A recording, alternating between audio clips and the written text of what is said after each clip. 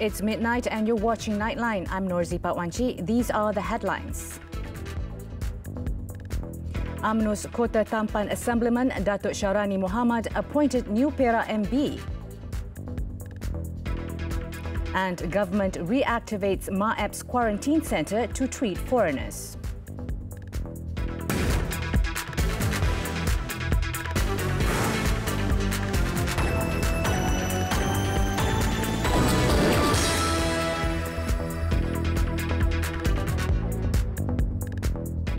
The Yang di-Pertuan Agong Al-Sultan Abdullah Riayatuddin Al-Mustafa Billah Shah on Wednesday said that the intimacy, bilateral cooperation and diplomatic relations between Malaysia and Brunei need to be further strengthened for the common interest and economic well-being of both countries. His Majesty expressed confidence that the flow of trade and investment between Malaysia and Brunei could be further enhanced, especially the business cooperation in micro, small and medium enterprises sector.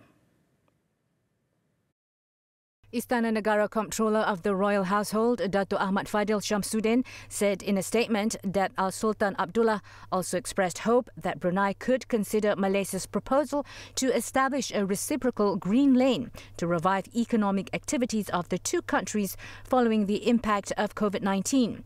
The King said this when he granted a farewell audience to the High Commissioner of Brunei to Malaysia, Dato Alaihuddin Muhammad Taha, and his wife, Datin Mariani Bongsu, at Istana Negara. Also present was the Raja Permaisuri Agong, Tunku Hajah Azizah Aminah Maimunah Iskandaria. Al Sultan Abdullah expressed his gratitude to Dato Alaihuddin, who will end his service as envoy at the end of this month. His Majesty also expressed his appreciation to the Brunei government for its contribution in providing COVID 19 test kits to Malaysia. After six days, the Perak political crisis has come to an end after the Sultan of Perak, Sultan Nazrin Muizzuddin Shah, gave his consent for the Kota Tampan Assemblyman, Datuk Saarani Muhammad, to be appointed as the 14th Menteri Besar of Perak. Comptroller of the Perak Royal Household, Datuk Abdul Rahim Muhammad, said the swearing-in ceremony will be held at 11 a.m. on Thursday at Istana Iskandaria, Kuala Kangsar. The statement read out by Dewan Negara Perak member Datuk Sri Muhammad Anwar Zaini further said that the decision was made by the ruler as he was convinced that Datuk Sharani has obtained the majority support of the state assemblyman. Okay, dengan titah perkenan Duli Yang Maha Mulia Paduka Sri Sultan Perak Darul Ridwan adalah dengan ini saya dititahkan membacakan kenyataan daripada pejabat Duli Yang Maha Mulia Paduka Seri Sultan Perak Darul Ridwan. Duli Yang Maha Mulia Paduka Seri Sultan Perak Darul Ridwan Sultan Nazrin Muizzuddin Shah berpandukan perkara 16 pasal 2A Undang-Undang Tubuh Kerajaan Perak Darul Ridwan pada timbangan baginda yang berhormat Datuk Syarani bin Muhammad Ahli Dewan Negeri Kota Tampan boleh mendapat kepercayaan sebahagian besar daripada ahli-ahli Dewan Negeri untuk dilantik sebagai Menteri Besar Perak. Earlier, Sultan Nazrin granted an audience to Perak PAS, Bersatu and Gerakan lawmakers as well as an independent assemblyman who also submitted their statutory declarations to the ruler around 4.40pm at Istana Kinta. Datuk Saarani also had an audience with Sultan Nazrin in the afternoon. However, he refused to speak to the media when he left the palace after the meeting. Earlier on Wednesday, in a joint press statement, Perikatan Nasional PN that comprises PAS, UMNO Bersatu said it has agreed to back Perak UMNO chairman Datuk Saarani Muhammad as the 14th Perak Menteri Besar. The three presidents from BN, Bersatu and PAS, as well as the party's respective secretary generals, have also discussed the formation of the state government and agreed on other related appointments. Barisan Nasional BN Chairman Datuk Sri Ahmad Zahid Hamidi had also apologised on behalf of Perak BN following the ouster of the State Bersatu Chairman Datuk Sri Ahmad Faizal Azumu as Menteri Besar. The statement further said that the three parties have agreed to strengthen the cooperation within the Perak PN coalition as well as at the national level for the sake of economic stability and the people's welfare. In the meantime, the 14th Perak State Assembly sitting has been postponed for seven days following the political crisis in the state. This was due to a requirement that the State Assembly sitting can only proceed after the appointment of the new Menteri Besar and at least four State Executive Council members. State Assembly Speaker Datuk Muhammad Zahir Abdul Khalid made the announcement at Bangunan Perak Darul Rizwan on Wednesday that the State Assembly sitting would only be convened next Wednesday. Memandangkan agenda seterusnya untuk membawa rang Undang-Undang Perbekalan 2021 ke dalam Dewan tidak dapat diteruskan berdasarkan Undang-Undang Tubuh Negeri Perak Darul Rizwan Perkara 38-2 dan berdasarkan kedudukan semasa, maka persidangan ini akan ditempuhkan sehingga hari Rabu 16 Disember 2020 jam 2.30 petang. Former Menteri Besar Datuk Seri Ahmad Faizal Azumu and other Bersatu Assemblymen except Titi Serong Rep Hasnul Zulkarnain Abdul Munaim were not present at the sitting.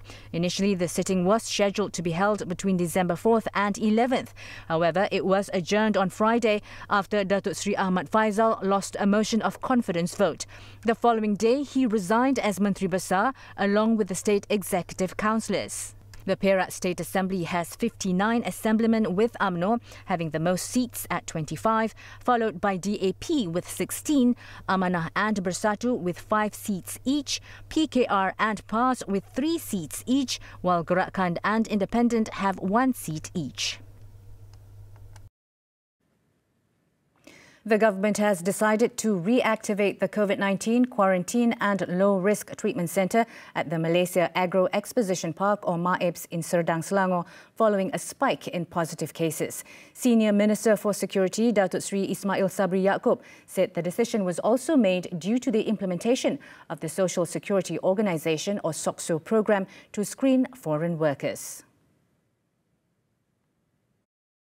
Skop operasi kali ini akan melibatkan pesakit COVID-19 kategori 1 iaitu tanpa gejala dan kategori 2 bergejala ringan dan akan hanya menempatkan pesakit bukan warga negara sahaja. Pengaktifan ini turut melibatkan pemindahan pesakit COVID-19 bukan warga negara daripada uh, ILLKM Sungai Buloh ke MAIPS.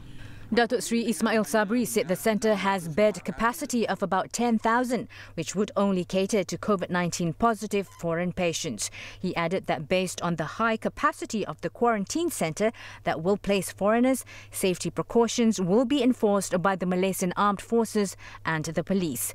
The quarantine centre was previously used back on April 16th until July 15th this year and has treated 1,362 COVID-19 patients the majority of whom comprised foreigners at 86%, as well as locals at 14%. Meanwhile, Datuk Sri Ismail Sabri said the limit on the number of people sitting at a table for dine-ins at restaurants will now be based on table capacity with a one meter physical distancing between diners.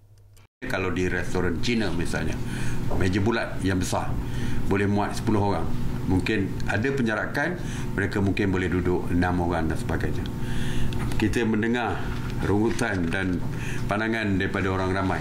Kadang-kadang mereka keluar bila kita buka kenderaan tidak ada uh, had tempat duduk lagi mungkin mungkin mereka keluar satu keluarga enam orang dengan MPV jadi bagi mereka tidak menasabah kalau mereka diasing-asingkan keluarga mereka diasingkan duduk dua meja dan sebagainya. Jadi kita benarkan as long as ada penjagaan sosial. At the same media conference, Datuk Sri Ismail Sabri also announced that three localities in Bentong Pahang will be placed under Enhanced Movement Control Order or EMCO from December 11th. The affected areas are Amber Court, Ria Apartment and Rumah Kongsi Kampung Semaud. He also said that mass screening will be carried out at Spectrum Sector A in Pulau Indah, Selangor. He added this exercise starts on Wednesday and involves an estimated 45 companies, 102 premises and 1,200 residents, adding that the majority of them are not Malaysian citizens. Malaysia recorded 959 new COVID 19 cases and five more deaths on Wednesday. Health Director General Tan Sri Dr. Noor Hisham Abdullah said 953 were local transmissions, with the remaining six cases imported. Mutakhir ini terdapat peningkatan kes positif COVID-19 yang ketara berikutan perluasan saringan ke atas para pekerja khususnya warga asing di kilang dan juga tapak binaan. Kebanyakan kes positif COVID-19 ini adalah daripada kategori satu iaitu individu yang tidak bergejala dan kategori dua iaitu pesakit yang bergejala ringan. Selangor reported the highest daily cases with 277 cases, followed by Sabah with 203 cases and Kuala Lumpur with 129 cases. Sarawak, Terengganu, Putrajaya and Perlis recorded zero new cases. Four new COVID-19 clusters have also emerged over the last 24 hours. Tan Dr. Noor Hisham said currently the number of active clusters is 187, of which 49 have reported an increase of infections on Wednesday. The highest number of infections in active clusters are the Tapak Bina Bulatan cluster with 162 cases, the Ria 30 cluster with 51 cases, and Batu Tujuh cluster with 39 cases. On the new deaths, all involved Malaysians aged between 60 and 82. Two deaths were reported in Sabah, two in Johor, and one in Kuala Lumpur.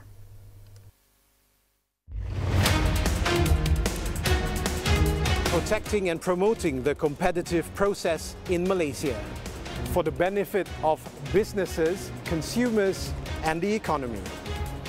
On Money Matters this week, we speak to Chief Executive Officer of Malaysia Competition Commission, Iskandar Ismail, on creating a conducive competition culture to make markets work well. This Saturday, 5 p.m., only on TV3. We're going for a short break. When we return, four charged over Bangsar murder robbery.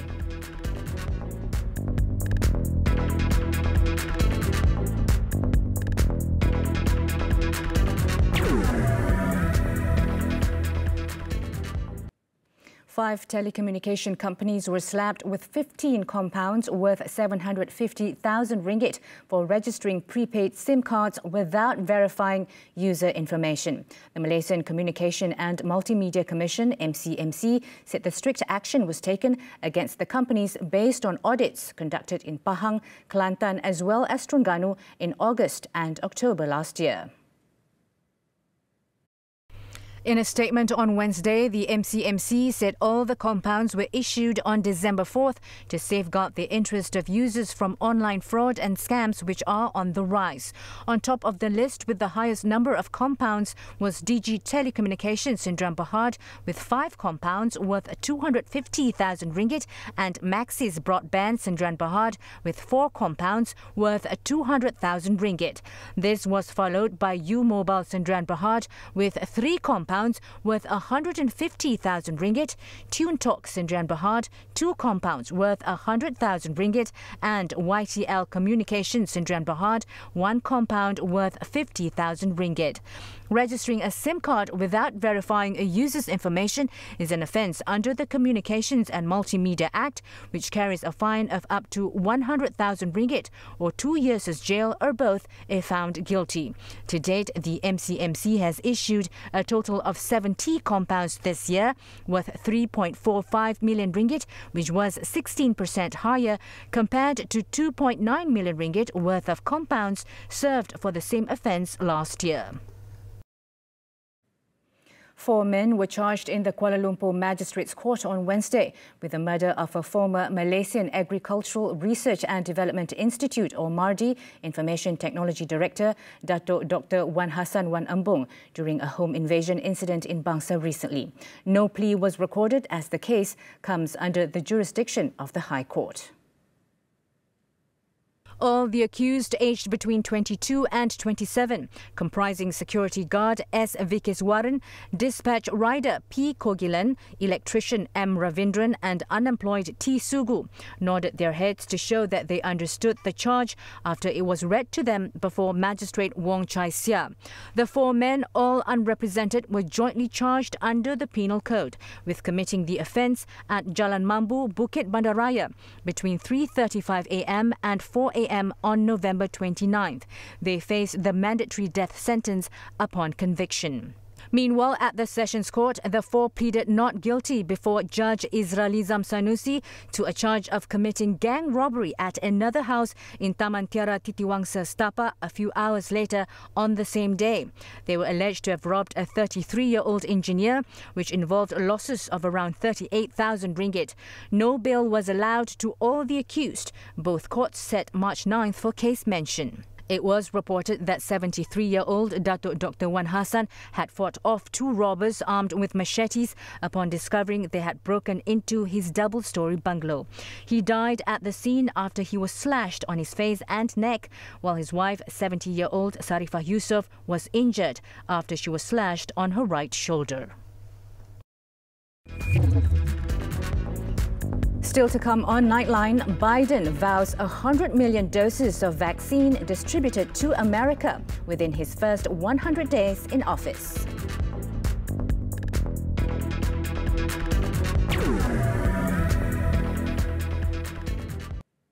Welcome back. US President elect Joe Biden vowed on Tuesday to get at least 100 million COVID 19 vaccine shots in his first 100 days in office. He said his first months in office would not end the outbreak, but he would change the course of the virus in the country. The, the president-elect also urged the nation to mask up for 100 days and said he would make doing so a requirement in federal buildings and on planes, trains, as well as buses that cross state lines. Masking, vaccinations, opening schools. These are the three key goals for my first 100 days. But we'll still have much to do in the year ahead, and sadly, much difficulty as well. The president-elect was attending a media conference in Delaware, during which he introduced his health team for when he takes office on January 20th. The announcement offered a telling split-screen counterpoint to an event being held at the same time at the White House, a vaccine summit where President Donald Trump boasted about what he called a monumental national achievement by drug companies to develop a vaccine for the virus in about nine months. He did not address the growing death toll or the devastation across the country, but he used the occasion to suggest, yet again, and without evidence, that people had tried to steal the election. In a related development, the U.S. Food and Drug Administration, FDA, released documents on Tuesday that raised no new issues about the safety or efficacy of the COVID-19 vaccine. The U.S. regulators then released their first scientific evaluation and confirmed it offers strong protection, setting the stage for the government to greenlight the biggest vaccination effort in the nation's history uh, vaccine is effective. It's effective uh, overall. It's effective in people over 55. It's effective, just as effective in people under 55. Uh, effective in in African Americans, in Hispanics, in whites, in Asians. Uh, so it's, it's, a consistent effect, and um, it's safe. Uh, the, it does cause sore arms. It causes some malaise and and uh, you know feeling muscle ache and, and pains, that sort of thing. This comes a month after Pfizer and German partner BioNTech SE claimed that their coronavirus vaccine's two-dose regimen was 95% effective against the outbreak and had no major safety issues before asking the FDA for emergency use authorization.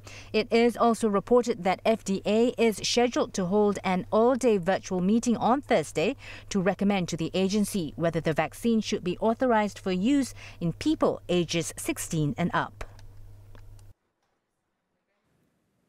A cruise to nowhere off Singapore was cut short Wednesday after a passenger tested positive for the coronavirus in a blow to efforts to revive the hard hit industry.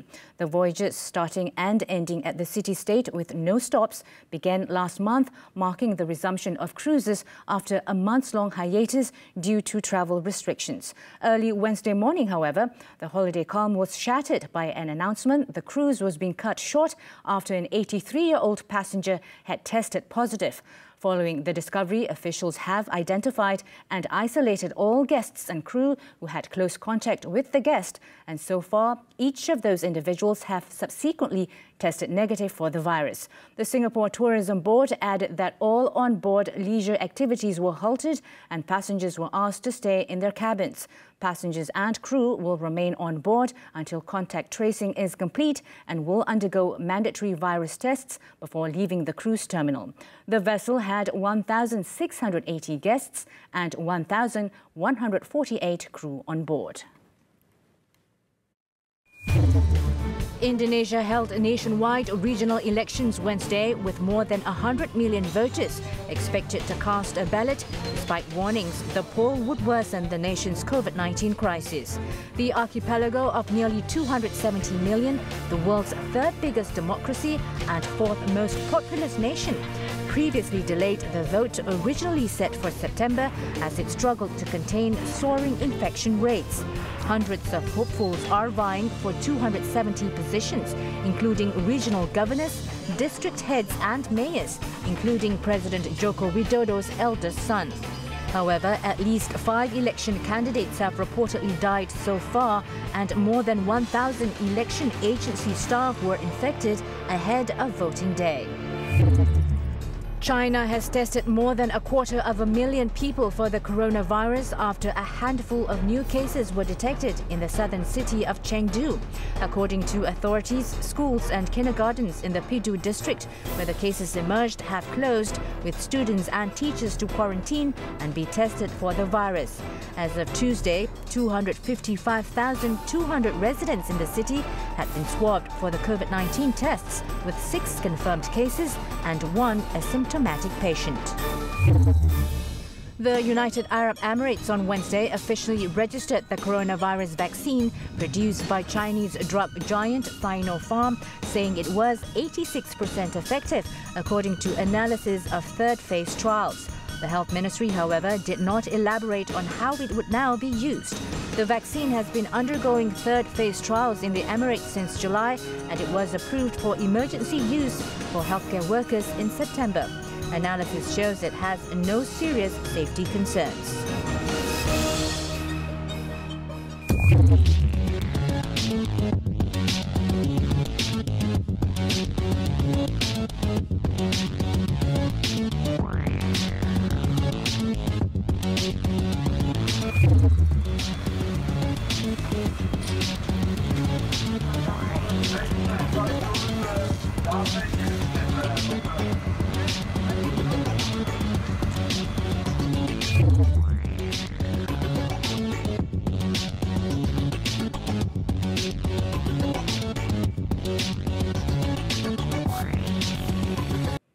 Now let's take a look at the highlights in Malaysia's main newspapers for Thursday, December 10th.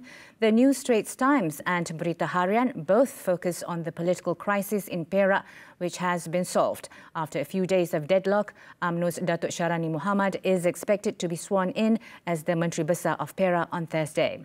And on the front page of Malaysia's best-selling Malay newspaper, Harian Metro, is an article on a businessman who lodged a police report claiming he was threatened by MACC officers. And finally, headlining the Malaysian Reserve is a report on Sarawak viewing the oil settlement agreement with Petronas as progress. Don't forget to get your copies or subscribe to the online newspaper. As we wrap up Nightline this time around, let's take a look at this incident where helmets saved two bikers' lives after they fell underneath a truck in eastern China. With that, I'm Norzie Pak Wan Chek. Thank you for watching and stay safe.